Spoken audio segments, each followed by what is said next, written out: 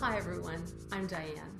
Welcome to Families Future Present, a video series designed to give you information, some inspiration, and some hope for the future as you navigate through separation and divorce.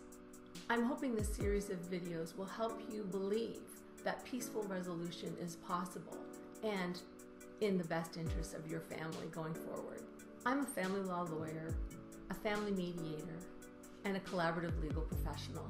The focus of my practice is on consensual dispute resolution.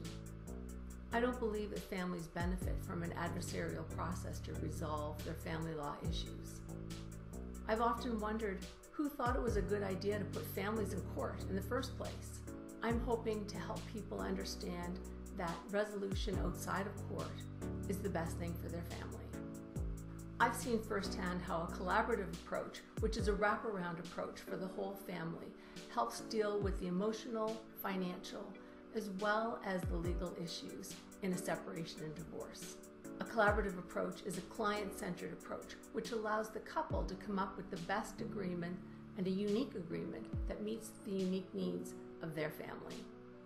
This series of videos will involve speaking to experts and providing some general information that you may need help you navigate separation and divorce. We'll answer questions like How can I help my kids through this? What will help them be more resilient? Is shared parenting always the best thing? Do I have to pay spousal support? Answers to these and other important questions will be addressed from watching Families Future Present. Families Future Present is about looking forward and into the future, thinking about what will be better when you resolve the issues that brought you to this place and will move you forward into a better place with less conflict and hope for the future.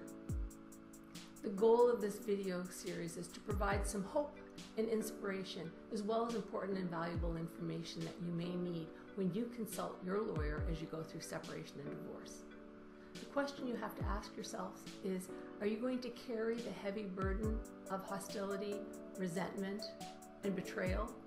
Or are you going to shake that off and look forward to a better future where you can experience joy and happiness? I hope you enjoy and find this series of videos informative. Thank you for joining me.